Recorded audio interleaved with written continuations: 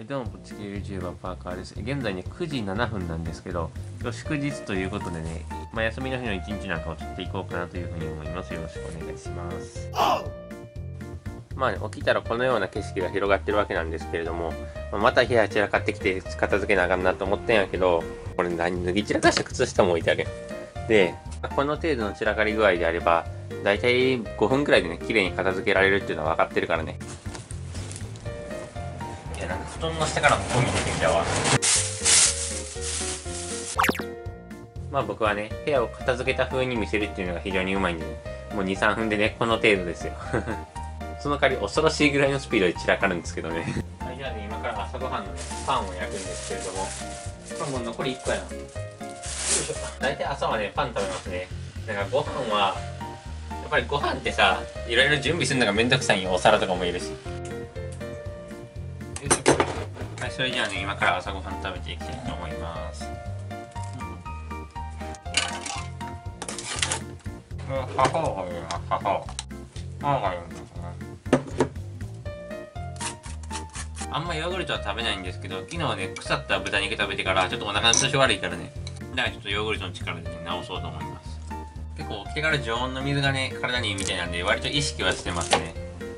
それから他の人のルーティン系のね、動画も結構見たりしますね。モーニングルーティンとか。ご飯食べたらね、また YouTube とか Twitter とか、いろいろ見たりしながら、これ多分3時間ぐらい続けると思います。正直アクションがなさすぎて動画にできる内容があんまないんですけど、よいしょ。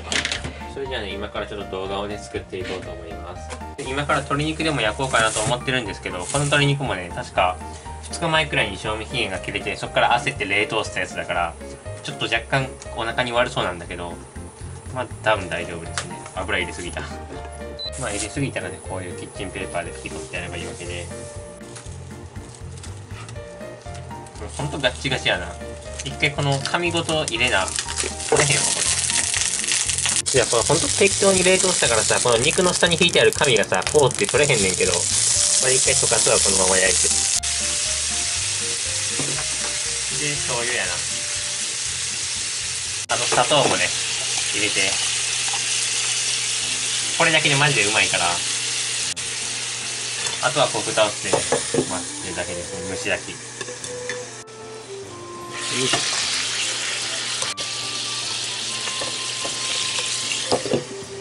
冷凍庫にね、米が本当に大量に入ってるから、よし。これくらい使おう。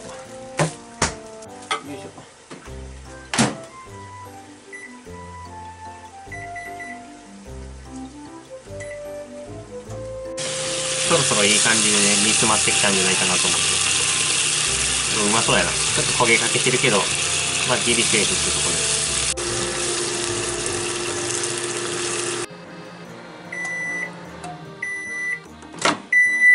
いやほんと米も冷凍で鶏肉も冷凍やからさ冷凍様々なんですけど鶏肉も6個あるから、まあ、米とねバランスは非常にいいんじゃないかなと思いますねでこのタレみたいなのもねちょっとかけつつよしこれが僕の昼飯です。いただきます。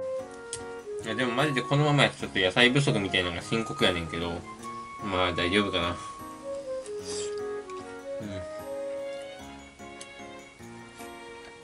スーパーのカット野菜とかもなんかあんま体に良くないっていうような話も聞くから。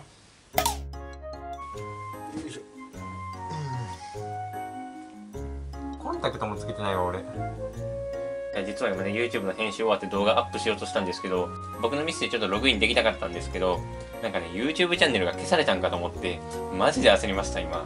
だって今本当にこうたくさんの方に見ていただけるようになっていつつあるから、うん、僕本当この状況ねチャンネル消されたらマジで死にます。まあ普段から自炊動画とかは結構豪華に食材とか使ってやりたいっていう思いはあるんですけど実際のところこうそんなお金持ってるわけではないですから。まあねこう動画にしない日とかはほんと数十円のパスタとかほんと10円のうどんとかでねそんぐらいで済ますんですけど今日もねまあパスタで。う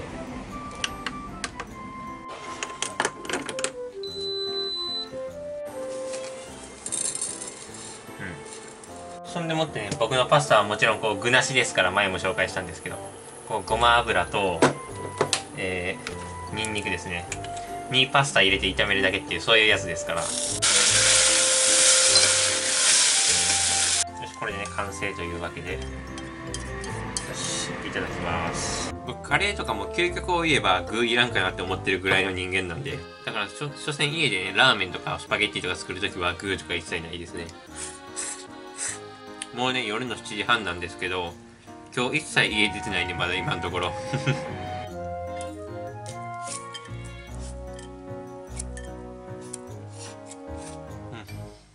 なんやかんやさもう夜の9時なんやけど俺一体今日何したんやろな。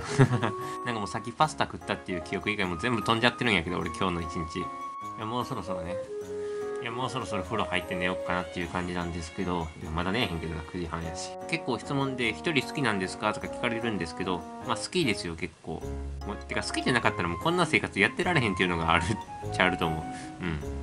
だから一人好きじゃなかったら多分もうこんな生活やってたら確実に病むと思うからさ。まあ、なんでこんな性格になってしまったかっていうのはまあわからないところではあるんですけれども、まあ、今後ともね、僕の動画を見ていただきたいなというふうに思います。えー、最後までご視聴いただきありがとうございました。さようなら。